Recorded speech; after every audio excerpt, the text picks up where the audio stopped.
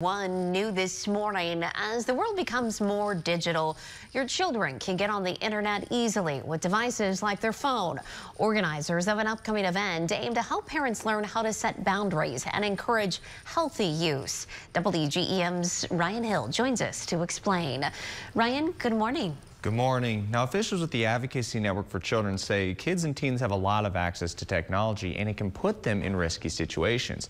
The Associate Executive Director says they will host an event called Screen Sanity with the help of Connect Child and Family. She says that they look to help parents become more aware of what their children may look at online and also teach them skills on how to talk and communicate with their kids to set boundaries.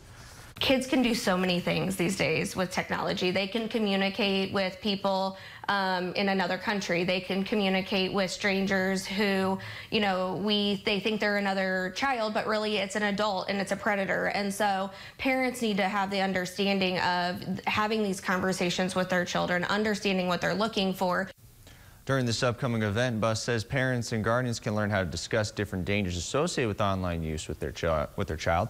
He says they are all, there are also mental health concerns with internet use that parents should know about. We'll hear more from a social worker on that aspect in the next half hour. Back to you, Natalie. Ryan, thank you. And here's some more information on the upcoming Screen Sanity event. It is July 30th from 2 to 4 p.m. at the Crossing in Quincy.